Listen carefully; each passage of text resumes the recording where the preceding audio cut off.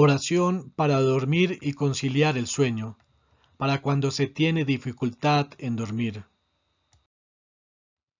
Señor mío Jesucristo, os suplico por el reposo tan suave que gustáis de toda eternidad sobre el seno de vuestro Padre, por el que habéis tomado durante nueve meses en el seno de vuestra Madre, y por lo que tomáis en el corazón de los que amáis, que me concedáis un poco de sueño, no para mi comodidad, sino para vuestra eterna gloria, a fin de que mi cuerpo halle la fuerza necesaria para serviros y cumplir los deberes que me incumben.